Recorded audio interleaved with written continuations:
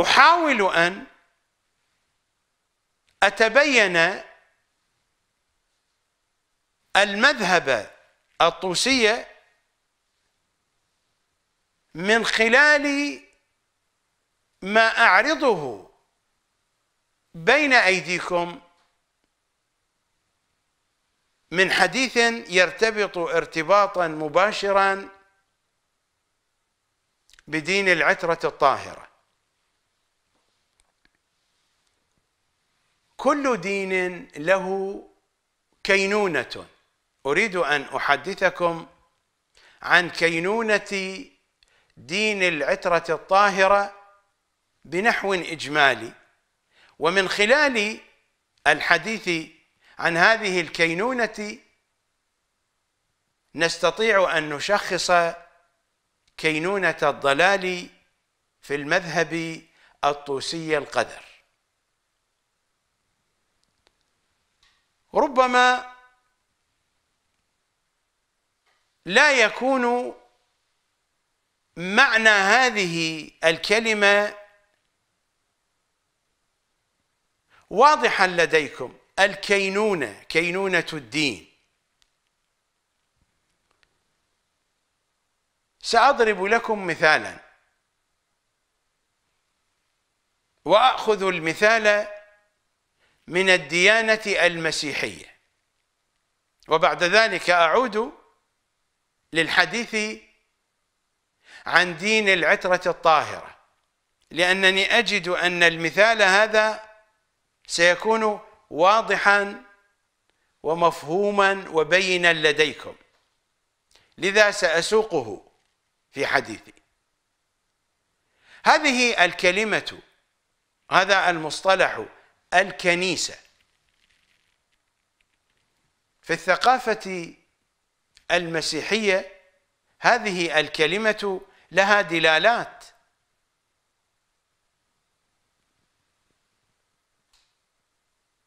خصوصا في الثقافة المسيحية الكاثوليكية. وحتى في المذاهب المسيحية الأخرى. لكن هذه الكلمة دلالاتها واضحة ومميزة في الثقافة المسيحية الكاثوليكية وهم المسيحيون الأكثر في العالم. الكنيسة يقصد منها مكان العبادة. هذا المكان الذي يقصده المسيحيون في يوم الأحد. وفيه تجرى قداسات يوم الأحد وهو المكان الذي يعمد فيه أطفالهم. وهو المكان الذي يعقد فيه الزواج الكاثوليكي. وهناك صندوق الاعتراف حيث يعترف المسيحيون في صندوق الاعتراف لقساوستهم. و, و إنه المسجد بالنسبة للمسلمين الكنيسة هي المسجد بالنسبة للمسلمين الكنيسة أيضا تعني المذهب. حينما يقال الكنيسة الكاثوليكية الكنيسة البروتستانتية وهكذا. المراد من الكنيسة هنا المذهب.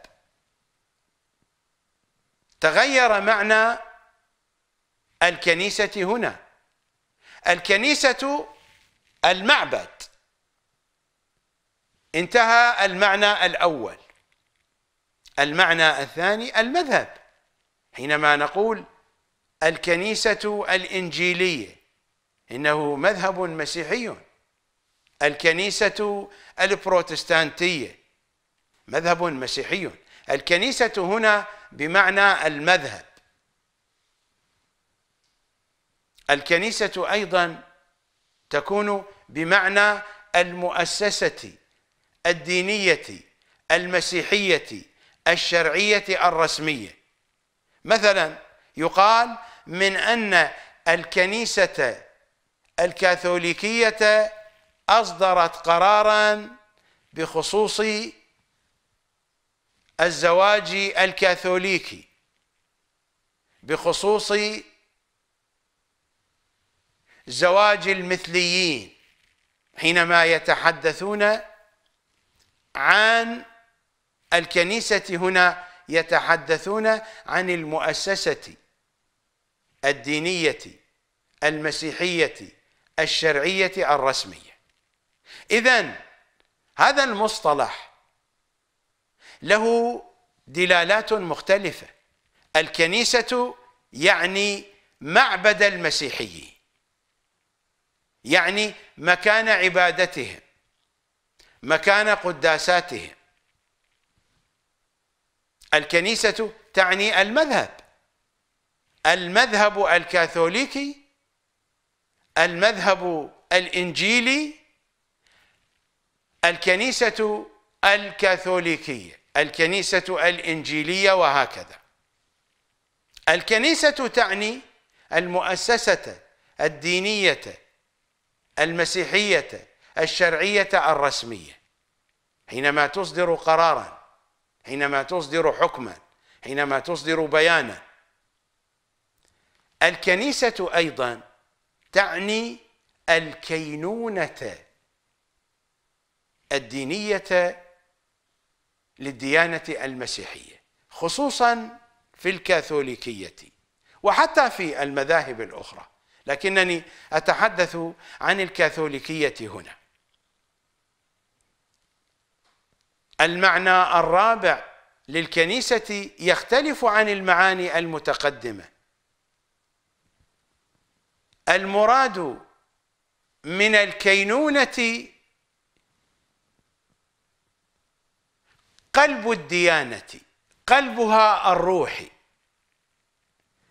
في المسيحية الكاثوليكية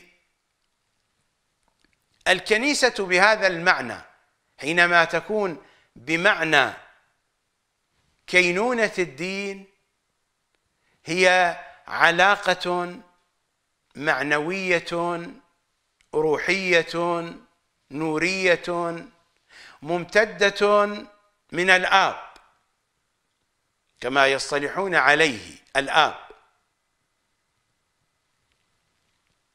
وهو الآب. من الآب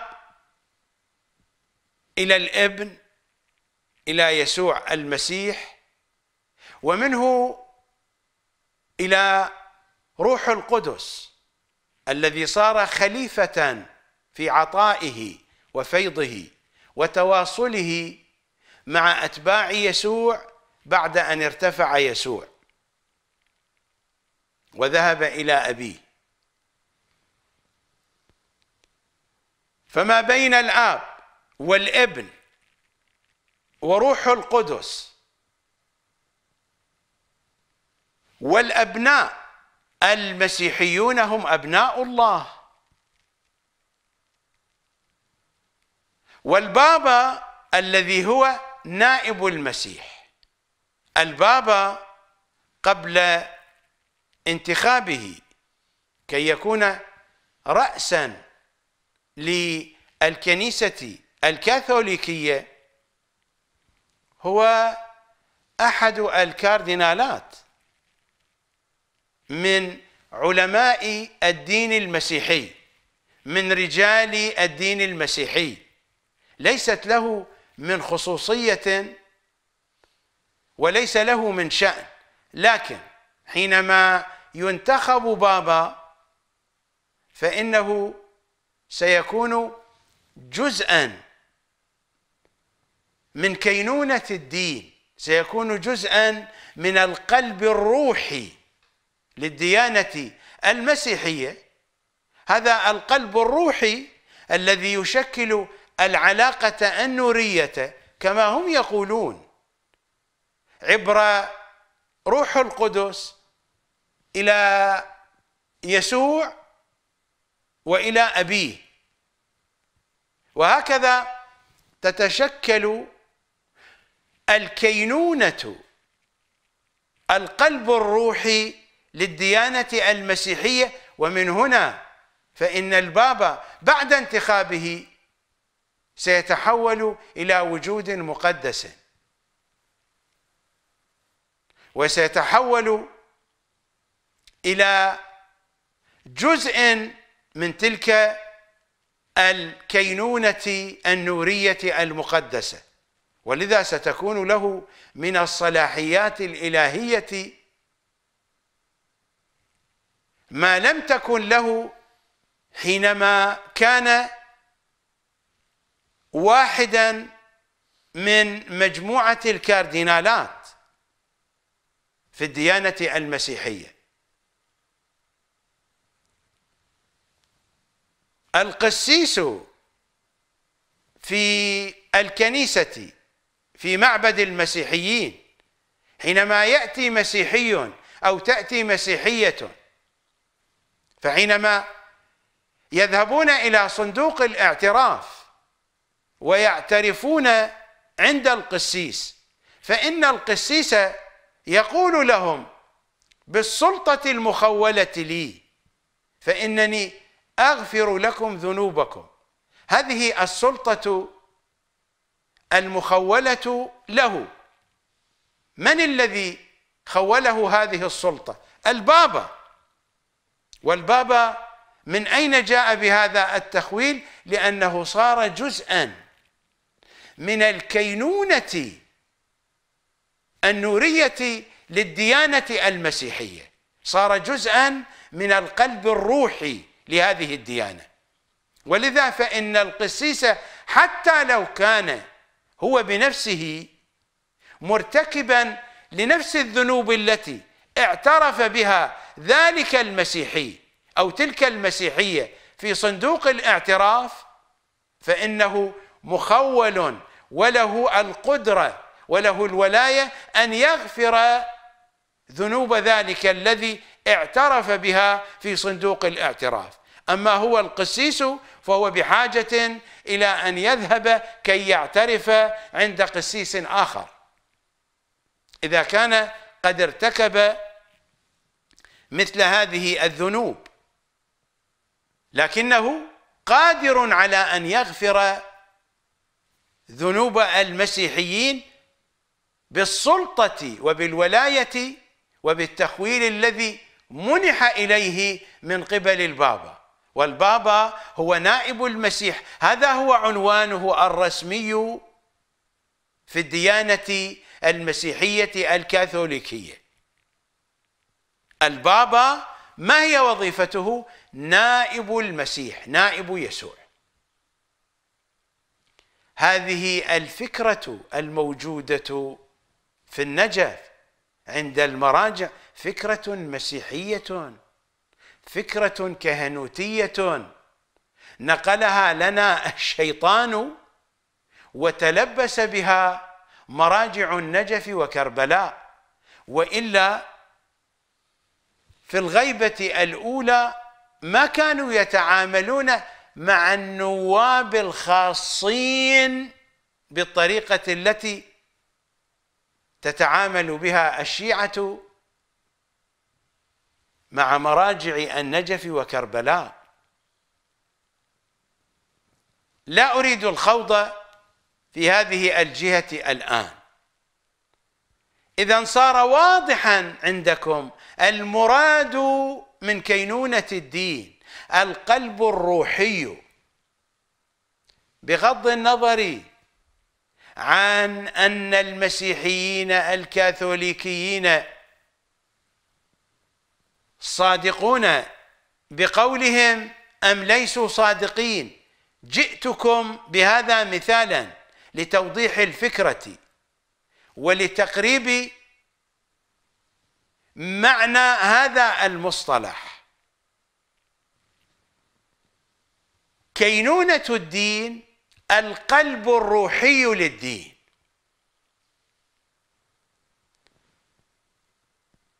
معنى الكنيسة المعبد المذهب المؤسسة هذا كله يقع في حاشية الكينونة. أما كينونة الديانة المسيحية الكاثوليكية هي هذه التي شرحتها لكم. في بعدها المعنوي في بعدها النوري في بعدها الروحي. هذه المنزلة التي تحول الكاردينال العادي إلى شخص مقدس هو البابا بعد انتخابه هي هذه الكينونة الدينية. في دين العترة الطاهرة. هل هناك من كينونة؟ قطعا. هناك كينونة في دين العترة الطاهرة والتي تلخصها كلمة واحدة هي الولاية. الولاية هذه الكلمة لها دلالات. الولاية في مستوى من مستوياتها تعني العلاقة السليمة فيما بيننا وبين أئمتنا وفيما بيننا وبين أوليائهم. وفي الوقت نفسه فإنها تستبطن البراءة من أعداء أئمتنا ومن أشياعهم من أشياع أعداء أئمتنا. هذا مستوى من مستويات الولاية. العلاقة فيما بيننا وبين أئمتنا وفيما بيننا وبين أولياء أئمتنا. وفي الوقت نفسه تستبطن معنى البراءة من أعداء أئمتنا من الرموز والكبار وأئمة النيران من أعداء أئمتنا ومن الذين يشايعونهم ويتابعونهم. هذا مستوى من مستويات معنى الولاية. ومستوى آخر. علاقة خاصة فيما بين الشيعي وإمامه. شيعتنا منا خلقوا من فاضل طينتنا. يفرحون لفرحنا ويحزنون لحزننا. هناك صلة تكوينية فيما بين الشيعي وإمامه وصلة تشريعية عقائدية. خلقوا من فاضل طينتنا صلة تكوينية. يفرحون لفرحنا ويحزنون لحزننا. إشارة إلى صلة تشريعية عقائدية. هذا مستوى خاص فيما بين الشيعي الذي انبلجت بصيرته واتضحت عنده حقيقة الدين. هذه الولاية مستوى يتناول الجانب التكويني والجانب التشريعي في علاقة خاصة فيما بين الشيعي وإمامه. هذا مستوى آخر. الولاية في معناها الثالث هي كينونة ديننا كينونة دين العترة الطاهرة. ذلك القلب الروحي النوري الإلهي الرباني تلك هي كينونة دين العترة الطاهرة. سأتلمس آثارها في آيات الكتاب الكريم وأحاديث العترة الطاهرة.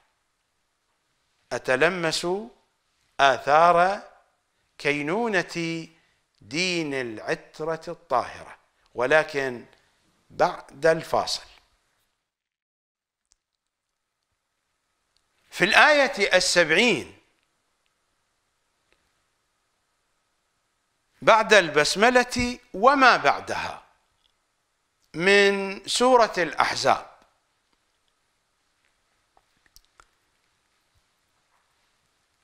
يا أيها الذين آمنوا اتقوا الله وقولوا قولا سديدا. في الآية التي بعدها يصلح لكم أعمالكم ويغفر لكم ذنوبكم ومن يطع الله ورسوله فقد فاز فوزا عظيما موطن الشاهد هنا يا أيها الذين آمنوا اتقوا الله خطاب مع المؤمنين. أمر بالتقوى. التقوى تتناول الأقوال والأفعال وحتى النوايا والأحوال. وإلا كيف يوصف المتقي بالتقوى؟ إذا لم يكن متقيا في أقواله وأفعاله وفي نياته وأحواله. اذا ما معنى وقولوا قولا سديدا؟ يا أيها الذين آمنوا اتقوا الله وقولوا قولا سديدا. فهل يصف القرآن المتقين بالمتقين وهم لا يتقون في أقوالهم. لا نستطيع أن نتصور ذلك. كيف يتقون في أفعالهم ولا يتقون في أقوالهم؟ يا أيها الذين آمنوا اتقوا الله إنهم يتقون الله في أقوالهم وأفعالهم ونياتهم وأحوالهم. اذا ما المراد؟ وقولوا قولا سديدا. القول السديد العقيدة السليمة. يا أيها الذين آمنوا اتقوا الله حتى لو كنتم في هذه المرتبة في مرتبة المتقين في أقوالكم وأفعالكم ونياتكم وأحوالكم في ظاهركم وباطنكم حتى لو كنتم في هذه المرتبة فأنتم لستم على شيء تحتاجون إلى القول السديد. لابد أن تترقى عقيدتكم. وقولوا قولا سديدا. بعد ذلك يصلح لكم أعمالكم. هذا يعني أن أعمالكم ما كانت صالحة. حتى لو كنتم متقين. الآيات واضحة. يا أيها الذين آمنوا اتقوا الله وقولوا قولا سديدا يصلح لكم أعمالكم ويغفر لكم ذنوبكم. وإصلاح العمل يكون سابقا على مغفرة الذنوب.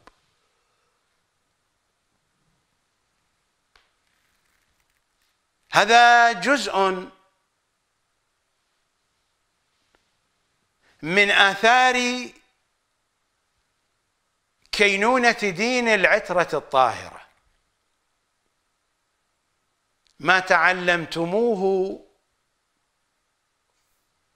هو في مرحلة مقدمات التقوى هذه.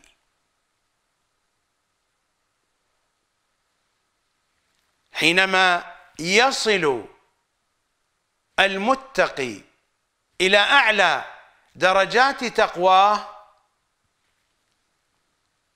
فحكمه الحقيقي هو هذا من أن أعماله ليست صالحة. هي بحاجة إلى إصلاح. ومن أن ذنوبه ليست مغفورة. إنما تغفر الذنوب بعد إصلاح العمل. وهذا الإصلاح ليس من قبله. هو يأتي بالعمل الصالح لكنه في الحقيقة ما هو بعمل صالح. الذي يصلح العمل هو صاحب الأمر. صلوات الله وسلامه عليه. هكذا نقرأ في زيارته الشريفة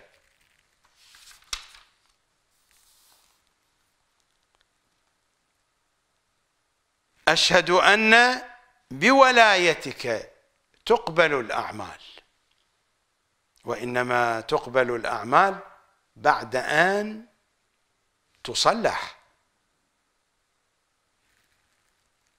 وتزكى الأفعال تزكى بعد أن تصلح تزكى تطهر. وتأخذ بالنماء. وتضاعف الحسنات وتمحى السيئات. فمن جاء بولايتك يا بقية الله واعترف بإمامتك قبلت أعماله وصدقت أقواله وتضاعفت حسناته ومحيت سيئاته. إلى آخر ما جاء في الزيارة الشريفة. يا أيها الذين آمنوا اتقوا الله. كل الذي تعلمتموه. إن كنتم تعلمتم بشكل سليم وصحيح من أمور دينكم فيما يرتبط بالعبادات والأعمال الصالحة كل ذلك مقدمات لهذه التقوى. يا أيها الذين آمنوا الخطاب مع المؤمنين الذين آمنوا وتعلموا من دينهم. تعلموا العبادات التي يتقربون بها إلى الله سبحانه وتعالى وإلى محمد وآل محمد صلوات الله عليهم. ما تعلموه من شؤون الأعمال الصالحة. ما يرتبط بالحسنات ورفيع الدرجات. كل ذلك يشكل مقدمة لهذه التقوى. يا أيها الذين آمنوا اتقوا الله. وبعدها هناك العقيدة السديدة. وقولوا قولا سديدا.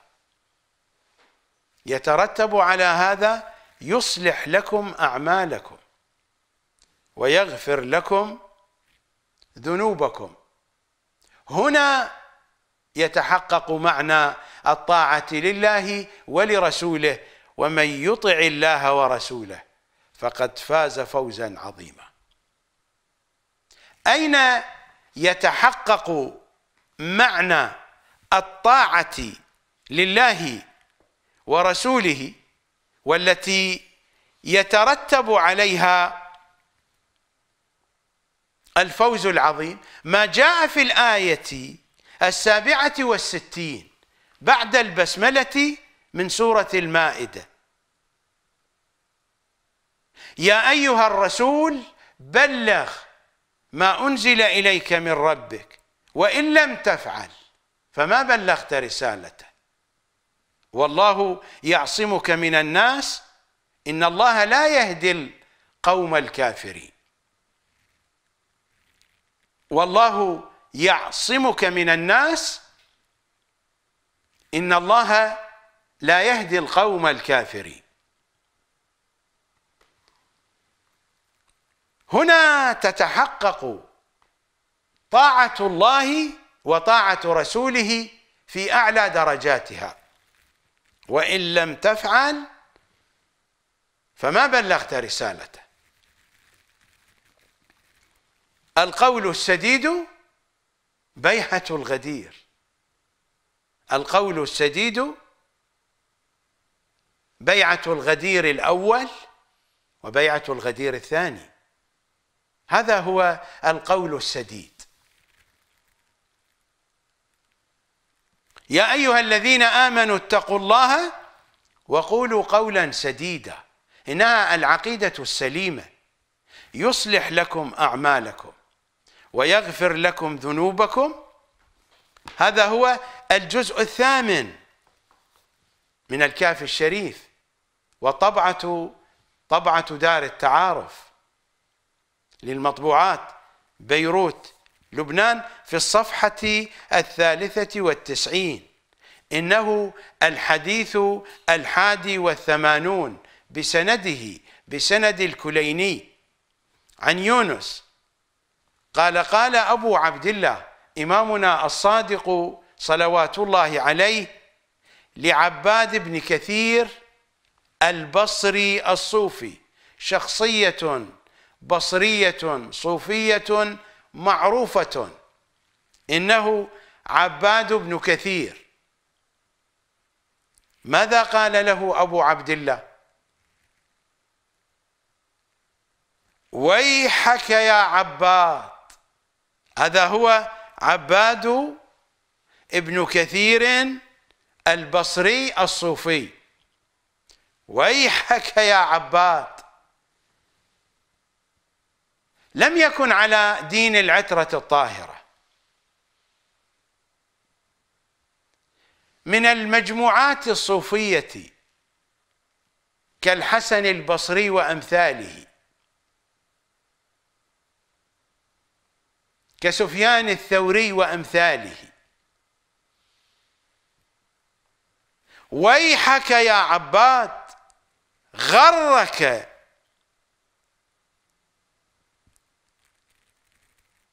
أن عف بطنك وفرجك. فجعلك متصورا أنك على الحق وأنك ستفوز برضا الله. ويحك يا عباد غرك أن عف بطنك وفرجك. إن الله عز وجل يقول في كتابه يا أيها الذين آمنوا اتقوا الله وقولوا قولا سديدا يصلح لكم أعمالكم. اعلم إنه لا يتقبل الله منك شيئا حتى تقول قولا عدلا. القول العدل هو القول السديد. إنها العقيدة السليمة. من هنا تفتح بوابة كينونة دين العترة الطاهرة.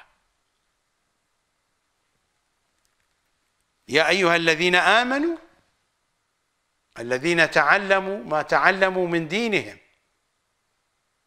وكل الذي تعلموه إن كان تعلما صحيحا طبقوه عمليا فقادهم إلى التقوى. يا أيها الذين آمنوا اتقوا الله ولكن التقوى ليست نافعة هنا. وقولوا قولا سديدا إنها العقيدة السليمة. علينا أن نبحث عن العقيدة السليمة من مصادرها الأصيلة. من قرآنهم المفسر بتفسيرهم ومن حديثهم المفهم بتفهيمهم. هذا علي يفهمكم بعدي على هذا بايعنا في بيعة الغدير. لا أن نعود إلى قذارات علم الكلام وعلم الرجال وعلم التفسير الناصبي إلى قذارات الطوسيين. الطوسيون قذرون هذا أنظف منهم.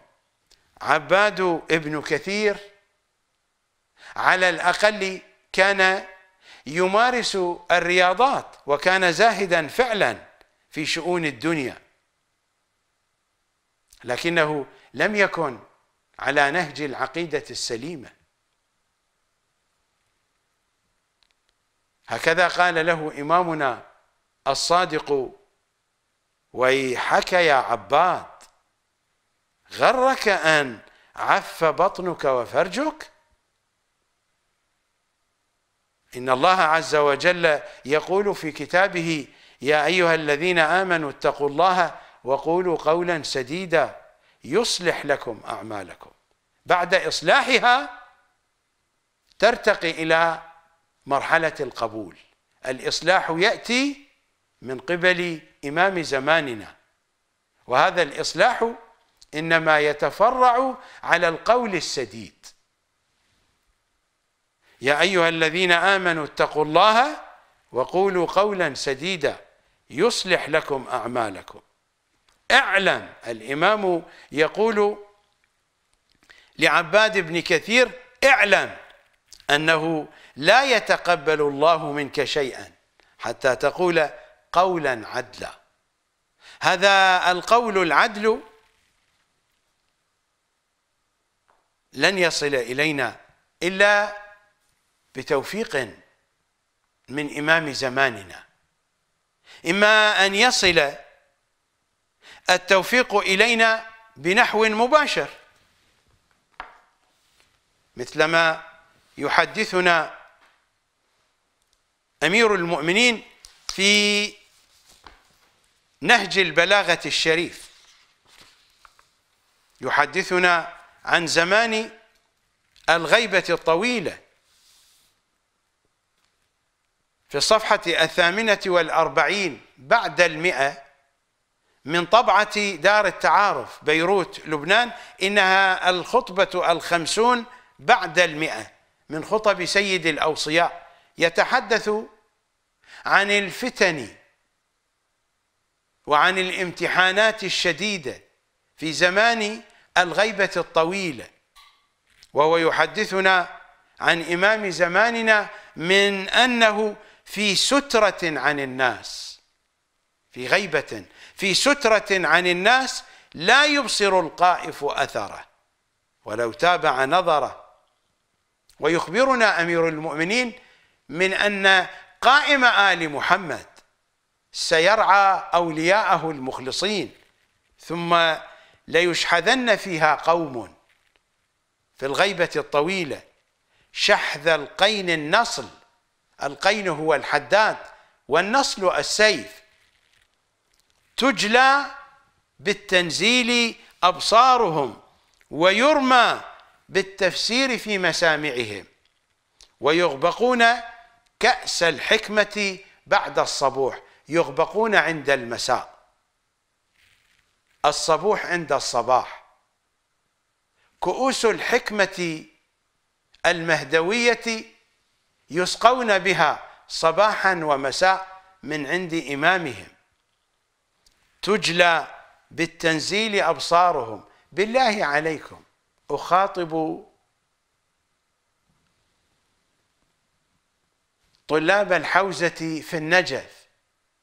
بالله عليكم هل تلمستم شيئا من هذا في مراجعكم الثولان في مراجعكم الأغبياء الذين هم غاطسون في قذارات النواصب من رؤوسهم إلى أقدامهم؟ هذا المضمون منافر بدرجة مئة بالمئة لآيات الشيطان العظمى الذين هم في النجف. هذا المنطق يتناقض مع منطق المذهب الطوسي القذر الضال ألا لعنة الله على المذهب الطوسي الذي ضللنا وضيعنا وباعد فيما بيننا وبين كينونة ديننا. هذه آثار كينونة دين العترة الطاهرة. هذا هو القلب الروحي الذي تدور عليه دوائر وأفلاك كينونة ديننا. القول السديد إما أن يصل إلينا بنحو مباشر مثلما يتحدث أمير المؤمنين هنا وإما أن نوفق لأن نصل إلى هؤلاء الذين يصل إليهم الفيض.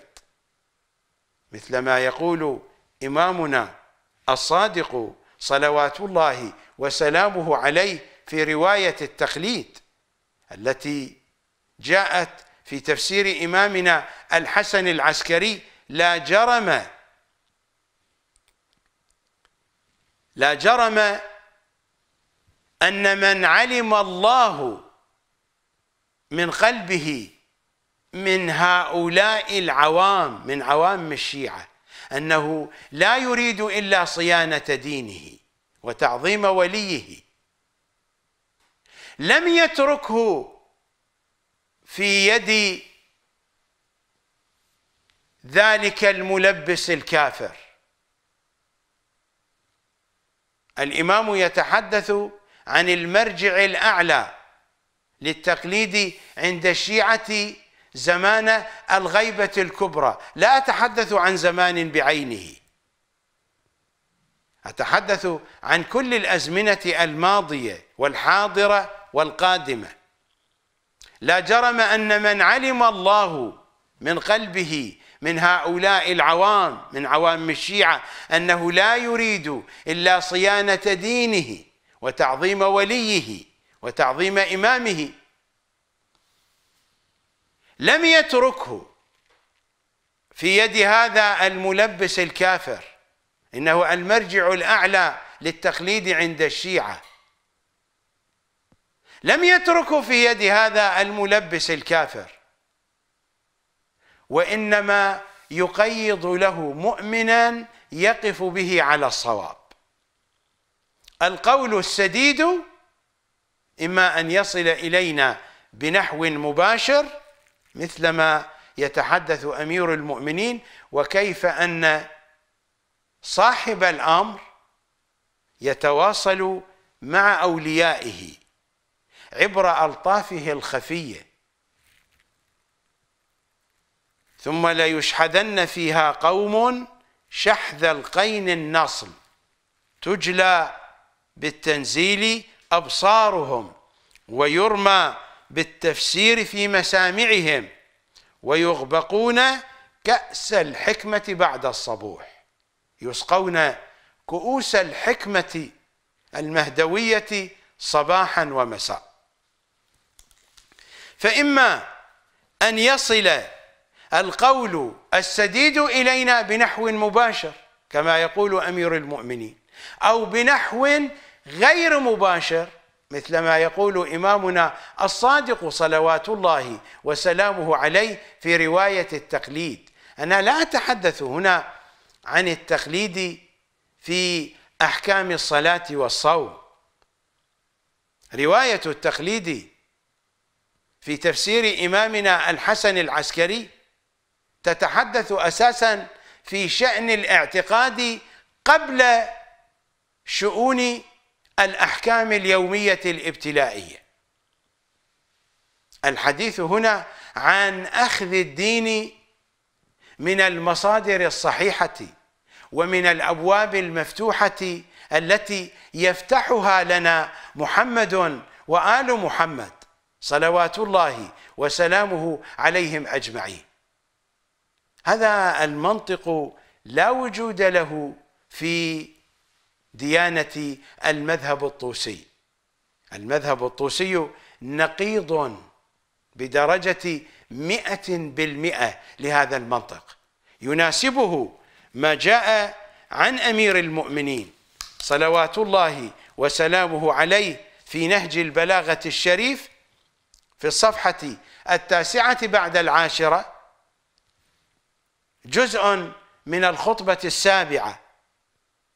هكذا يقول أمير المؤمنين وهو يتحدث عن أتباع الشيطان. اتخذوا الشيطان لأمرهم ملاكا أساسا ومنطلقا وقاعدة. اتخذوا الشيطان لأمرهم ملاكا واتخذهم له أشراكا. تبادل منفعة التقاء مصالح. ما بين مراجع المذهب الطوسي وبين البرنامج الإبليسي. اتخذوا الشيطان لأمرهم ملاكا واتخذهم له أشراكا فباض وفرخ في صدورهم. تستكثرون هذا؟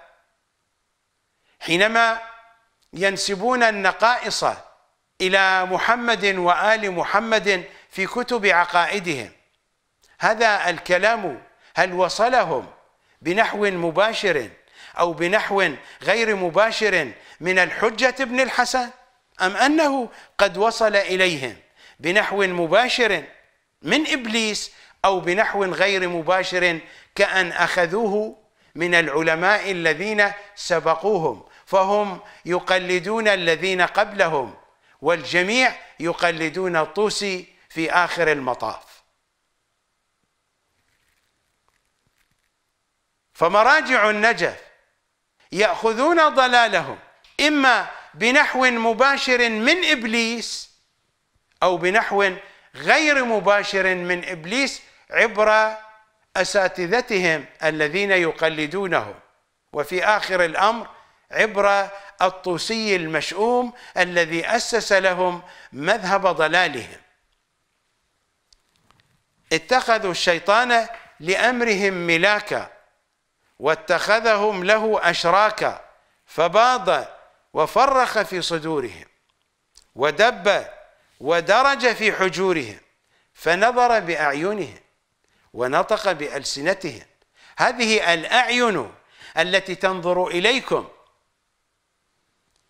في الوقت الذي تتحدث فيه ألسنتهم وهم ينسبون النقائص إلى العترة الطاهرة.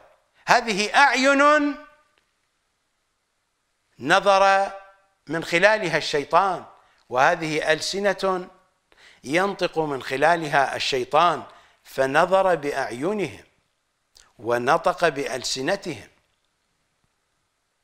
فركب بهم الزلل وزين لهم الخطل ولذا فهم يدافعون عن ضلالهم هذا. وعن قذاراتهم ونجاساتهم العقائدية الطوسية يدافعون عن تفاسيرهم التي هي خراء في خراء وهراء في هراء ويدافعون عن عقائدهم النجسة القذرة الضالة. فركب بهم الزلل وزين لهم الخطل فعل من قد شركه الشيطان في سلطانه ونطق بالباطل على لسانه. ما قدمته لكم من كتب ومن أقوال ومن فيديوهات ومن تسجيلات صوتية في الحلقات المتقدمة وهم ينكرون ما ينكرون من ظلامة فاطمة وينكرون ما ينكرون من مقاماتها. هل هذا فيض من به صاحب الأمر عليهم بنحو مباشر أو بنحو غير مباشر؟ ماذا تقولون؟ هذا هو الذي يتحدث عنه أمير المؤمنين. إنه الشيطان الذي ينطق على ألسنتهم وينظر بأعينهم. ومن هنا فإنهم ما هم بنواب صاحب الزمان إنهم نواب الشيطان. هؤلاء ما هم بآيات الله العظمى إنهم آيات إبليس العظمى. أتحدث عن مراجع النجف من المرجع الأعلى إلى المرجع الأسفل.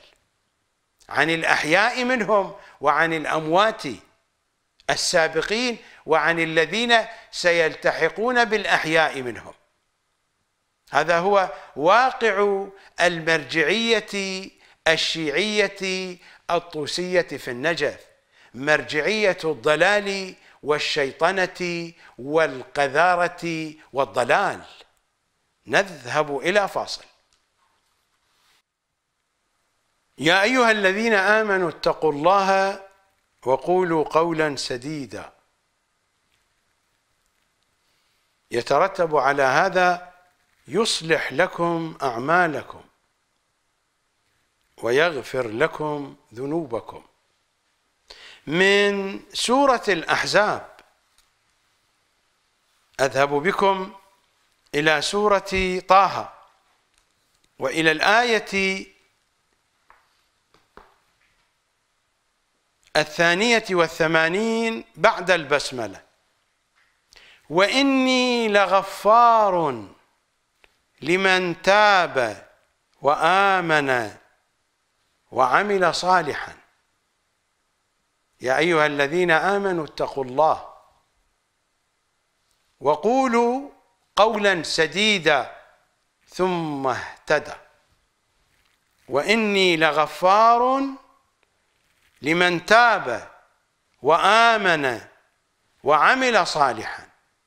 الذي يتوب هو المؤمن الصالح. وبعد توبته يزداد إيمانا وإني لغفار لمن تاب وآمن آمن بعد التوبة. ارتقى إيمانه وعمل صالحا. ثم اهتدى. في الزيارة الغديرية المروية عن إمامنا الهادي صلوات الله وسلامه عليه نزور أمير المؤمنين ونخاطبه قائلين وأنه الضمير يعود على رسول الله صلى الله عليه وآله وأنه القائل لك القائل لك يا أمير المؤمنين وأنه القائل لك والذي بعثني بالحق ما آمن بي من كفر بك ولا أقر بالله من جحدك وقد ضل من صد عنك. هذه كينونة ديانة العترة الطاهرة. هذا هو القلب الروحي. إذا أردنا أن نتمسك بديانة العترة الطاهرة وأن نحصل منافعها في الدنيا والآخرة علينا أن نتوغل في هذه الديانة حتى ندرك قلبها الروحي. كي نتمسك به وكي نعيش في ظلاله. وكي نواصل خدمتنا في فنائه. وأنه القائل لك والذي بعثني بالحق ما آمن بي من كفر بك ولا أقر بالله من جحدك.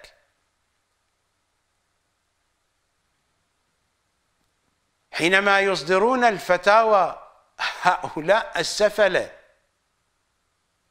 من أن ذكر علي صلوات الله عليه في التشهد الوسطي والأخير في الصلاة يبطل الصلاة. أليس هذا من مصاديق أنهم جحدوا فضل علي فجعلوا ذكره مبطلا للصلاة؟ هذا هو الجحود بعينه. ولا أقر بالله من جحدك. التشهد الأول والثاني باطلان من دون الشهادة الثالثة. ولا أقر بالله من جحدك وقد ضل من صد عنك. ولم يهتدي إلى الله ولا إلي من لا يهتدي بك. وهو قول ربي عز وجل وإني لغفار لمن تاب وآمن وعمل صالحا ثم اهتدى إلى ولايتك. يا أمير المؤمنين هذا هو القلب الروحي القلب النوري. هذا هو جوهر ديانة العترة الطاهرة.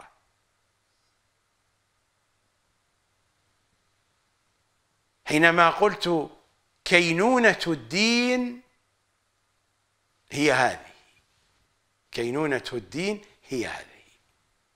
القلب النوري القلب الروحي الذي يجذب إليه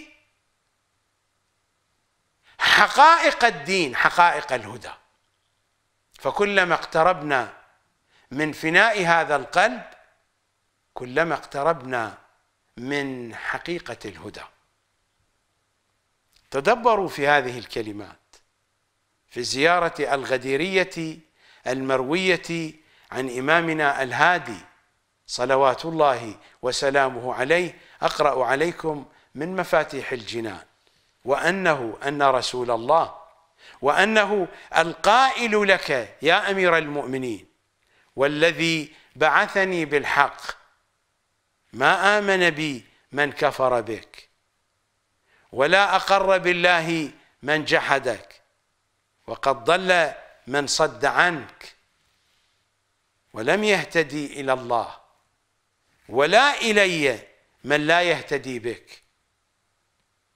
وهو قول ربي عز وجل وإني لغفار لمن تاب وآمن وعمل صالحا ثم اهتدى ثم اهتدى إلى ولايتك. يا أيها الذين آمنوا اتقوا الله وقولوا قولا سديدا. هذا هو القول السديد. يصلح لكم أعمالكم ويغفر لكم ذنوبكم. حينئذ تظهر هذه الآثار. حينئذ نصل إلى هذه النتائج. في الكافي الشريف الجزء الأول من طبعة دار الأسوة طهران إيران في الصفحة الرابعة بعد المئتين. إنه الحديث السادس من الباب الذي عنوانه باب معرفة الإمام والرد إليه بسنده بسند الكليني عن إمامنا الصادق صلوات الله وسلامه عليه. رواية مهمة جدا. أتمنى أن تلتفتوا إلى مضامينها. الإمام هكذا يقول مخاطبا لنا إنكم لا تكونون صالحين حتى تعرفوا. يا كميل يا كميل ما من حركة إلا وأنت محتاج فيها إلى معرفة. إنكم لا تكونون صالحين حتى تعرفوا. ولا تعرفون حتى تصدقوا. ولا تصدقون حتى تسلموا ابوابا أربعة. لا يصلح أولها إلا بآخرها. كلام دقيق جدا. إنكم لا تكونون صالحين حتى تعرفوا.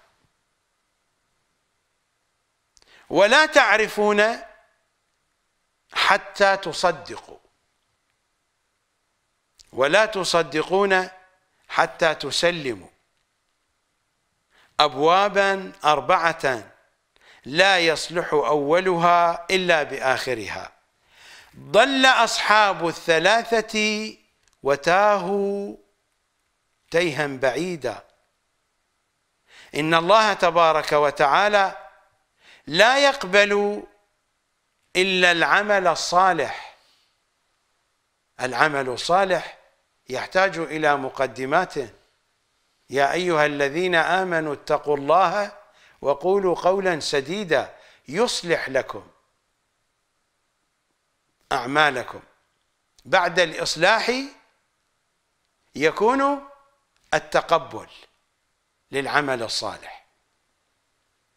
إن الله تبارك وتعالى لا يقبل إلا العمل الصالح. العمل الصالح هذه شروطه القرآنية. يا أيها الذين آمنوا اتقوا الله وقولوا قولا سديدا يصلح لكم أعمالكم. وإني لغفار لمن تاب وآمن وعمل صالحا بموازين العمل الصالح عندنا لكنه لا يعد عملا صالحا إلا بعد الباب الرابع ثم اهتدى.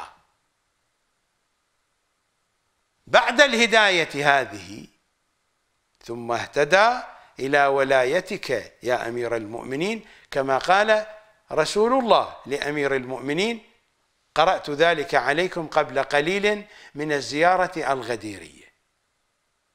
بعد الاهتداء فإن الله يصلح أعمالنا.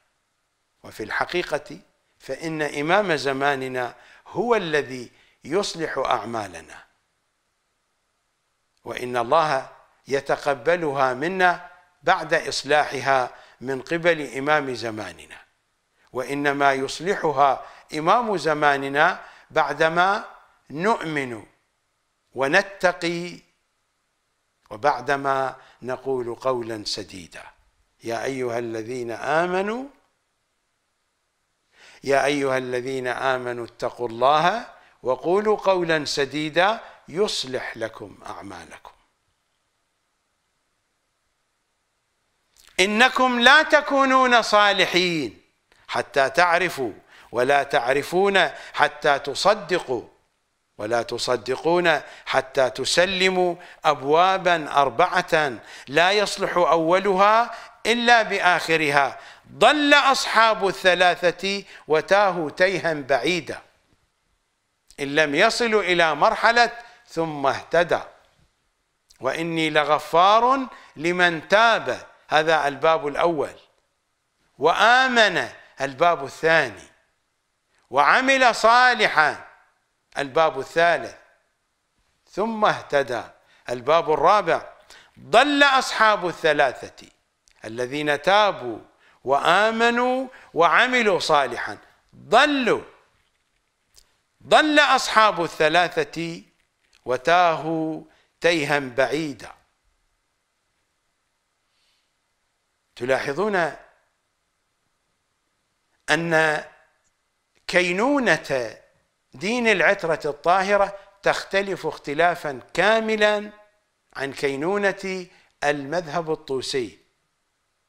المذهب الطوسي يعلمكم الإيمان والعمل الصالح بالضبط مثلما يتحدث عنه علماء السنة في الفضائيات. تابعوا علماء السنة في فضائياتهم كيف يتحدثون عن الإيمان والعمل الصالح. يتحدثون بطريقة هي أفضل بكثير. من الطريقة التي يتحدث بها الطوسيون الأرجاس من الخطباء أو من المراجع القذرين الوسخين. لا يحدثونكم بهذه الحقائق. هذه الحقائق من آثار كينونة دين العترة الطاهرة. أما المذهب الطوسي فله كينونته الخاصة به كينونة قذرة وسخة. ضل أصحاب الثلاثة وتاهوا تيها بعيدا. إن الله تبارك وتعالى لا يقبل إلا العمل الصالح ولا يقبل الله إلا الوفاء بالشروط والعهود التي نبذها أكثر مراجع الشيعة كما جاء في الرسالة الأولى التي وصلت إلى المفيد سنة 410 للهجرة. ومعرفتنا بالزلل الذي أصابكم مذ جنح كثير منكم كثير من مراجع الشيعة مذ جنح كثير منكم إلى ما كان السلف الصالح عنه شاسعا ونبذوا العهد المأخوذ منهم وراء ظهورهم كأنهم لا يعلمون. هذا سنة 410 أما نحن الآن في سنة 1444 للهجرة الجميع. سنة 410 أكثرهم. أما الآن جميعهم نبذوا العهد المأخوذ منهم وراء ظهورهم. كأنهم لا يعلمون. إن الله تبارك وتعالى لا يقبل إلا العمل الصالح ولا يقبل الله إلا الوفاء بالشروط والعهود. فمن وفى لله عز وجل بشرطه واستعمل ما وصف في عهده نال ما عنده واستكمل ما وعده. إن الله تبارك وتعالى أخبر العباد بطرق الهدى وشرع لهم فيها المنار وأخبرهم كيف يسلكون فقال وإني لغفار لمن تاب وآمن وعمل صالحا ثم اهتدى. هذا المنطق ليس موجودا في الدين الطوسي. هذا المنطق موجود في قرآنهم المفسر بتفسيرهم وهذا هو تفسيرهم لقرآنهم.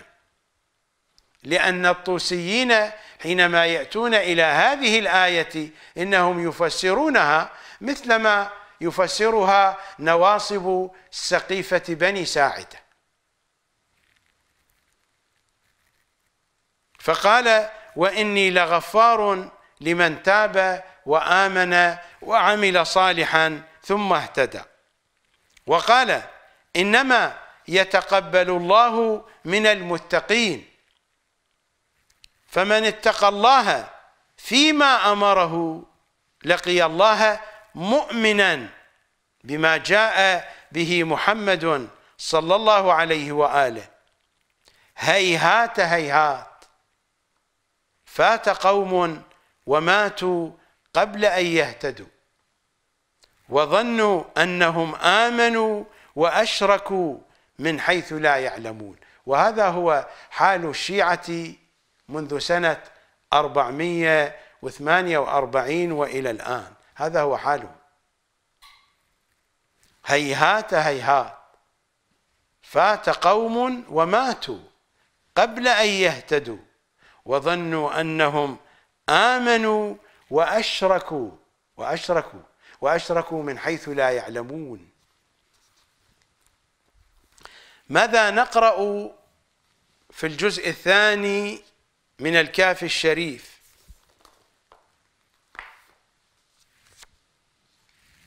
الطبعة هي الطبعة التي أشرت إليها قبل قليل في الصفحة التاسعة والتسعين بعد الثلاثمائة. الحديث الثامن من الباب الذي عنوانه باب الشرك. بسند الكليني عن إمامنا الصادق صلوات الله وسلامه عليه. من أطاع رجلا في معصية فقد عبده. من أطاع رجلا في معصية فقد عبده. وأعظم معصية نقض بيعة الغدير. وأنتم أيها الشيعة تطيعون مراجعكم في نقض بيعة الغدير. أبسط مثال هو استماعكم لخطباء المنبر الحسيني وقبولكم لكلامهم وهم ينقضون بيعة الغدير.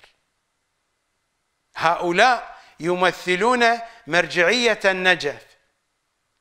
مرجعية النجف ناقضة لبيعة الغدير.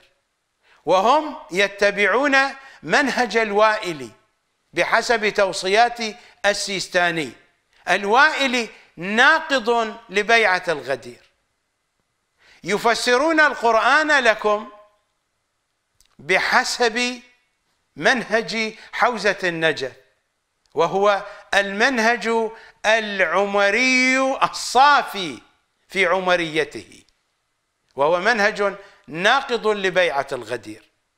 يحدثونكم بالأحاديث التي الأئمة لا يريدون لكم أن تعملوا بها لأنها أحاديث التقية والمداراة الأحاديث التي يريد الأئمة أن تتدبروا فيها وأن تتعلموها ينكرها مراجع النجف وكربلاء بحسب قذارات علم رجالهم الناصبي.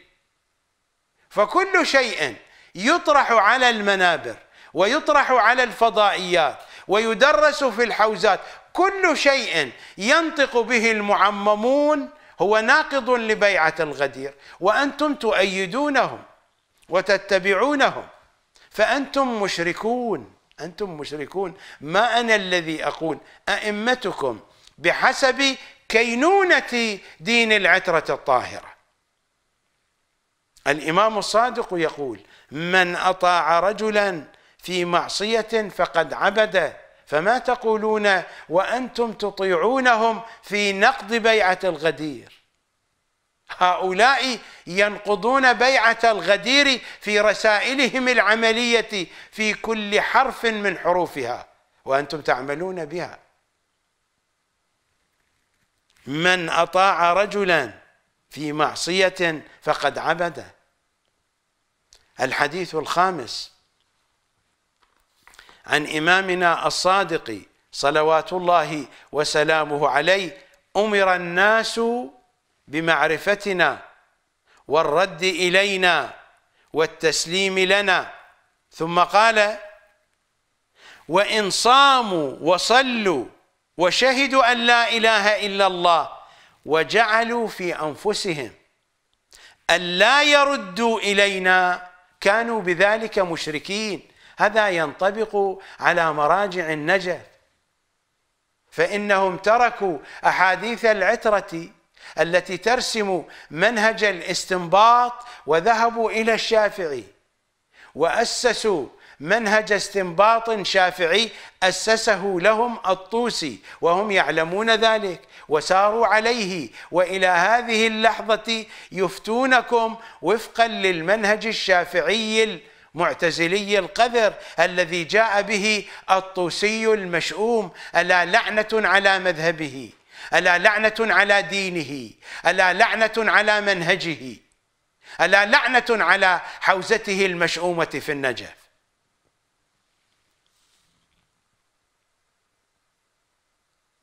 أمر الناس بمعرفتنا والرد إلينا والتسليم لنا. ثم قال وإن صاموا وصلوا وشهدوا أن لا إله إلا الله وجعلوا في أنفسهم أن لا يردوا إلينا. كانوا بذلك مشركين. هذا هو واقع الشيعة منذ سنة 448 للهجرة وإلى هذا اليوم.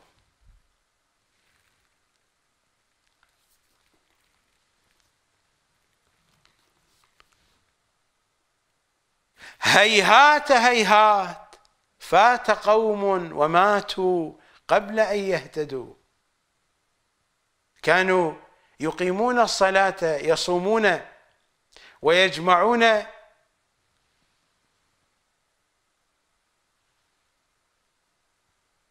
الأوراق التي يأخذونها من المراجع على أنهم سددوا الأخماس وهم لا يعلمون من أن الأوراق هذه التي يوصي بعض الأثرياء أن تدفن معه. ستكون وبالا عليه. لأنه دفع الأخماس في معصية. لقد عصى إمام زمانه. وهو بذلك عبد المرجع. لأن صاحب الأمر أعطى الشيعة رخصة وهو يريد من الشيعة أن تعمل برخصته. أما مراجع النجف وكربلاء السفل فهم يضحكون على الشيعة وأوجبوا الخمس عليهم. فحينما يطيع الشيعة هؤلاء المراجع إنهم يطيعونهم في معصية في معصية إمام زمانهم. لأن الإمام الحجة كتب بخط يده إلى إسحاق بن يعقوب عبر السفير الثاني. وأما الخمس فقد أبيح لشيعتنا وجعلوا منه في حل إلى وقت ظهور أمرنا لتطيب ولادتهم ولا تخبث. هؤلاء السفلة اللصوص يسرقون الشيعة ويجعلونهم في حال معصية لإمام زمانهم. فهم في حالة عبادة لهؤلاء المراجع الحقراء الأنذال.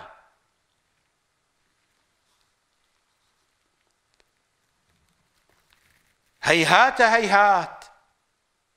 فات قوم وماتوا قبل أن يهتدوا حينما تسألون المراجع عن المصدر الذي تأخذون منه عقيدتكم.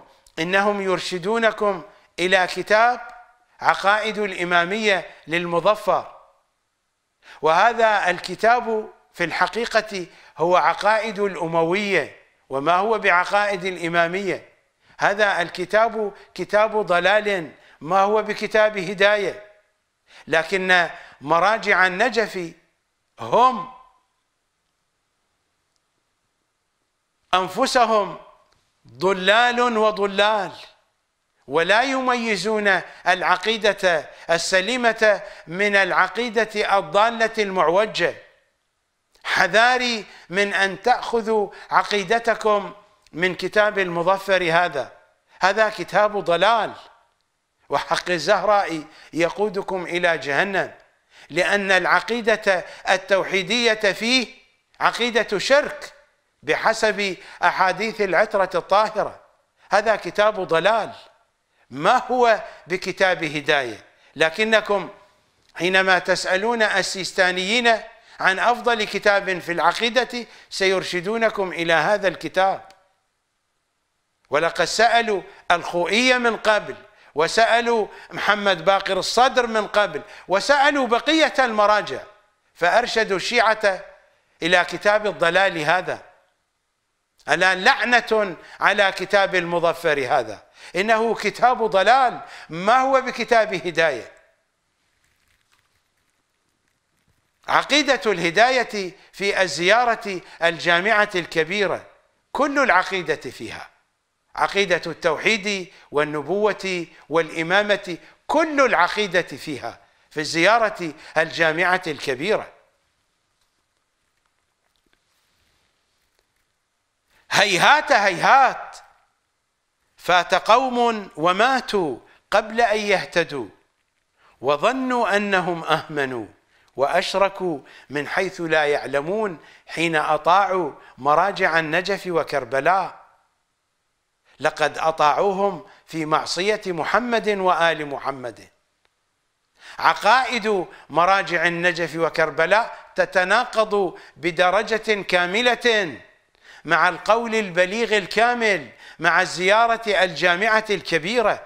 عقائدهم التي تدرس في حوزة الضلال في النجف وكربلاء تتعارض بدرجة كاملة مع منطق الزيارات والأدعية الشريفة التي هي منابع المعرفة والعقيدة. وضعها لنا أئمتنا صلوات الله عليهم. ولكن مراجع النجف وكربلاء يدوسونها بأرجلهم بسبب ضعف أسانيدها استنادا إلى علم القنادر إلى علم الرجال. هيهات هيهات فات قوم وماتوا قبل أن يهتدوا وظنوا أنهم آمنوا وأشركوا من حيث لا يعلمون. إنه من أتى البيوت من أبوابها اهتدى ومن أخذ في غيرها سلك طريق الردى. أبواب المعرفة هي كتب حديثهم أحاديثهم زياراتهم أدعيتهم وهذا كله يحاربه مراجع النجف وكربلاء. الا لعنة على حوزة النجف وكربلاء. وأدل دليل على ذلك جهلهم بمعارف أهل البيت. أجوبتهم الضالة الموجودة على مواقعهم الإلكترونية الرسمية. لو سألتموني بحسب تجربتي واطلاعي على عقائد مراجع الشيعة منذ سنة 448 وإلى الآن فإنني أقول وبملء فمي المرجعية السيستانية هي المرجعية الأكثر ضلالا والأكثر بعدا عن العترة الطاهرة والأكثر حربا على حديث أهل البيت. إلى هذه اللحظة لم أطلع على ضلال عند المرجعيات الشيعية في العقائد كضلال المرجعية السيستانية. هذا الكلام أقوله وأنا مسؤول عنه في الدنيا وفي الآخرة. لم أطلع إلى هذه اللحظة على ضلال عقائدي مرجعي كضلال السيستاني. المرجعية. السيستانية هي المرجعية الأكثر ضلالا. هذا لا يعني أن المرجعيات الأخرى مهتدية أبدا. إنهم يشربون من نفس العيون الكدرة القذرة. إنهم على مذهب واحد على المذهب الطوسي.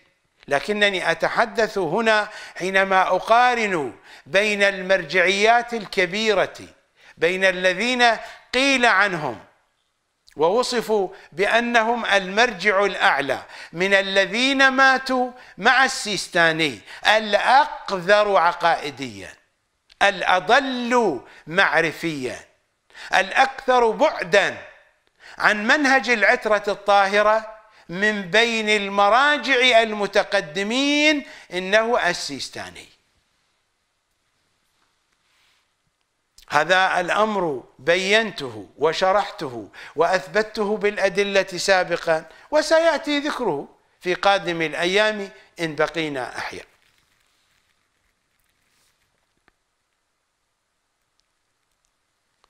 إنه من أتى البيوت من أبوابها اهتدى ومن أخذ في غيرها سلك طريق الردى.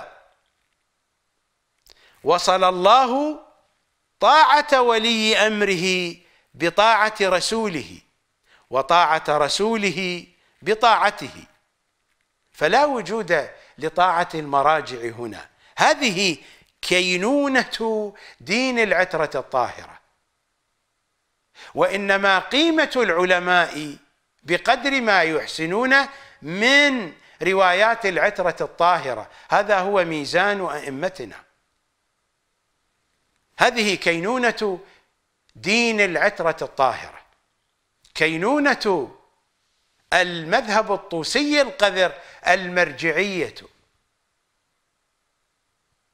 ألا تلاحظون أن الطوسيين في كل كتبهم ينتقصون من محمد وآل محمد لكنهم لا ينتقصون من المراجع. نعم يناقشون آراءهم. إنما يناقشون آراءهم لا بحثا عن الهدى بسبب التنافس فيما بين المراجع. ويحاولون أن يظهروا أنفسهم من أنهم الأفضل من أنهم الأعلى. لكنهم لا يقدحون في المراجع أبدا. القدح في أشخاص الأئمة. حينما يناقشون يقدحون في آرائهم لا يقدحون في أشخاصهم. وهذا في الدرس فقط في الجو الحوزوي الخاص. امام الشيعه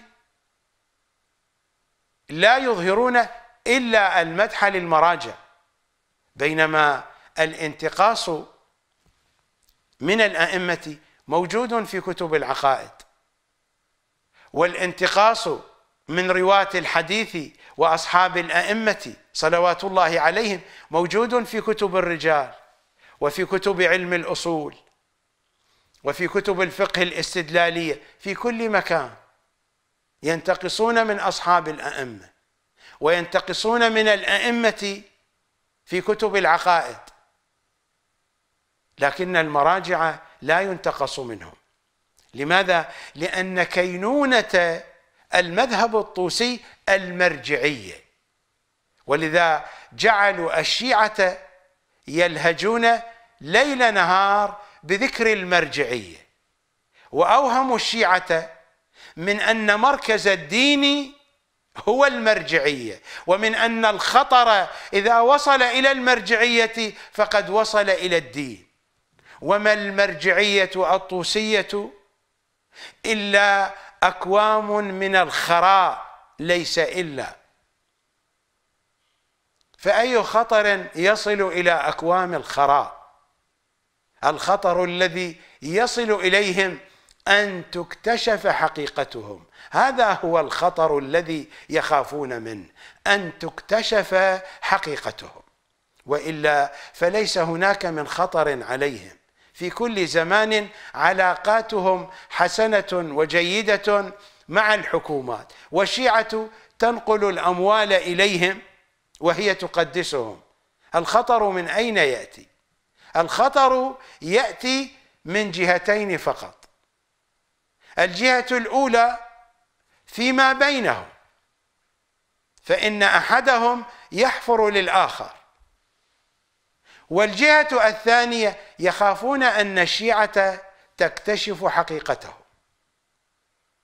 عداؤهم لي لأنني أكشف حقائقهم. يخافون أن الشيعة تصدق كلامي وبالتالي ترتب أثرا على الكلام الذي يسمعونه مني وحينئذ سيعرضون عنهم. وستتضح حقيقة المرجعية في النجف من أنها أكوام خراء ليس إلا.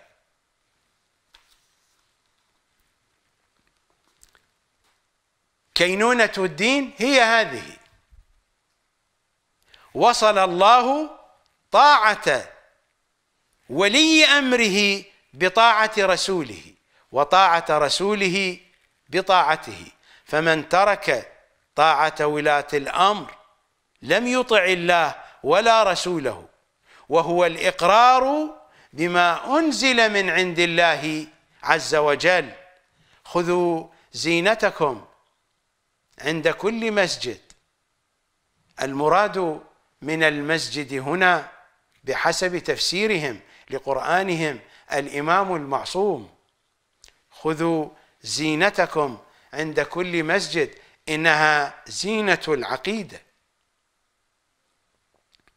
خذوا زينتكم عند كل مسجد.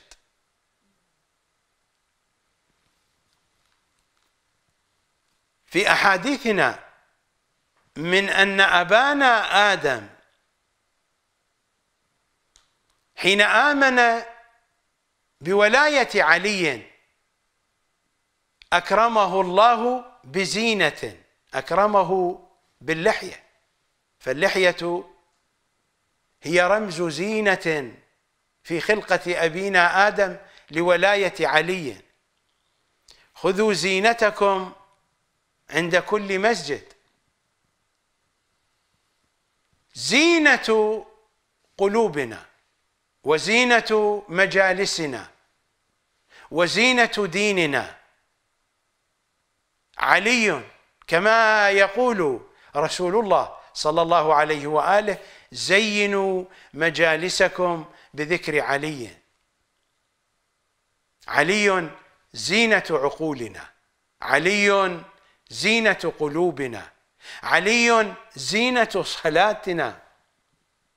هؤلاء الأرجاس يقبحون صلاتكم حينما يقولون لكم من أن ذكر علي يبطل الصلاة. ذكر علي زينة الصلاة. ذكر علي زينة الدين ذكر علي زينة العقول والقلوب. هذا علي. كيف يكون ذكره شينا وقبحا؟ لأن إبطال الصلاة شين وقبح. فكيف يكون ذكر علي شينا؟ كيف يكون ذكر علي قبحا. كيف يكون ذكر علي باطلا يؤدي إلى إبطال الصلاة.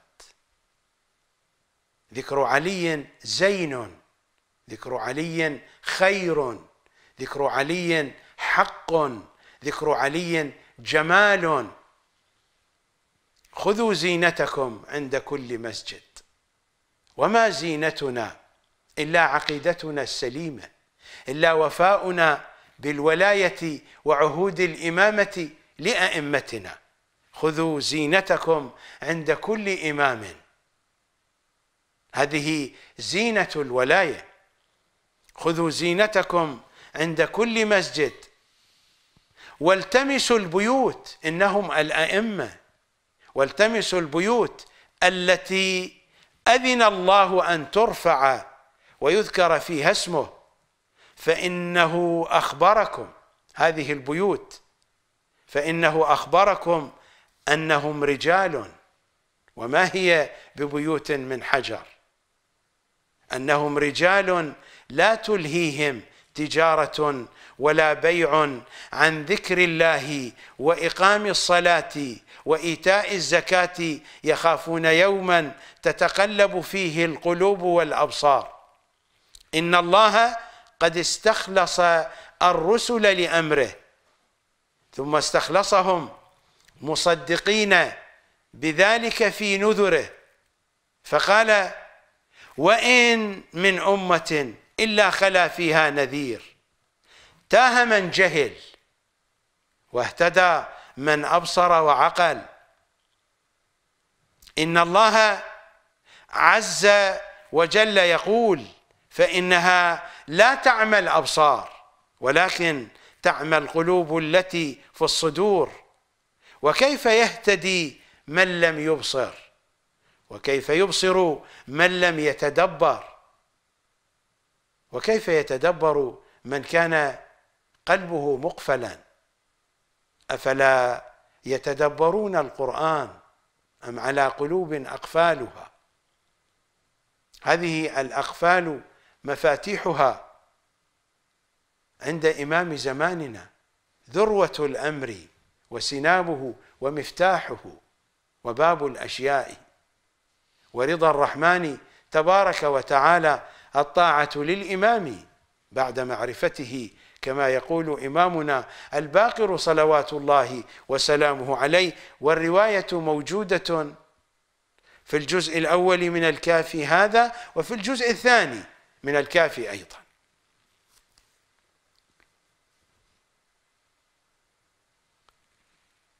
وكيف يهتدي من لم يبصر؟ وكيف يبصر من لم يتدبر؟ اتبعوا رسول الله وأهل بيته وأقروا بما نزل من عند الله واتبعوا آثار الهدى. آثار الهدى قرآنهم. المفسر بتفسيرهم وعلى هذا بايعنا في بيعة الغدير. وحديثهم المفهم بقواعد تفهيمهم صلوات الله عليهم. هذه هي آثار الهدى. هذه كينونة الدين.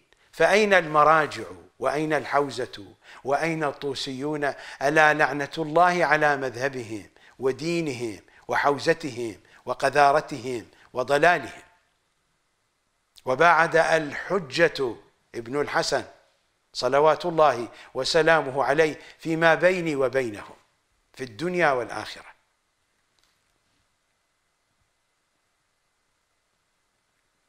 اتبعوا رسول الله وأهل بيته وأقروا بما نزل من عند الله واتبعوا آثار الهدى. فإنهم علامات الأمانة والتقى.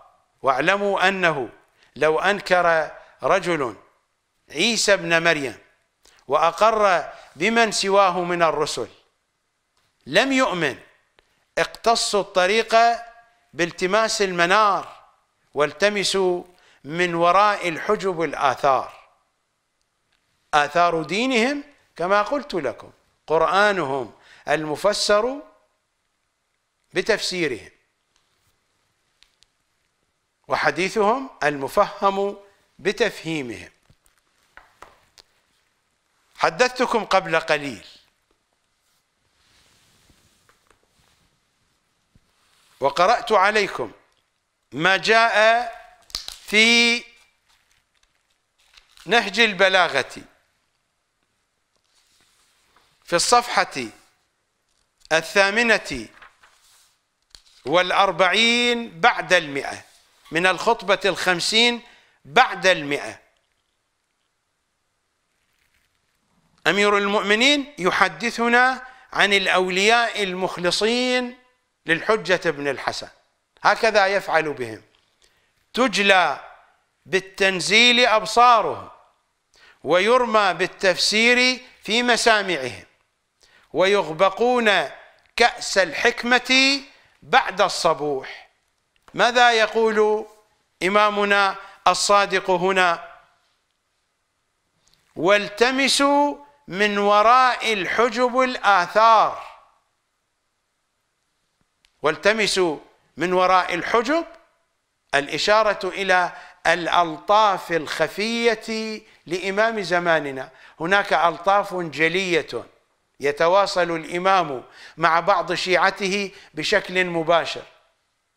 أما مع عامة الشيعة من أمثالنا فإنه يتواصل عبر الألطاف الخفية.